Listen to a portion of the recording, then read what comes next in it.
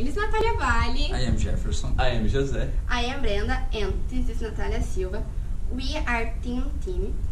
Uh, we are students from Universidade Federal do Paraná. UFPR is the oldest university of Brazil. It is a public institution and the fifth best university in the country.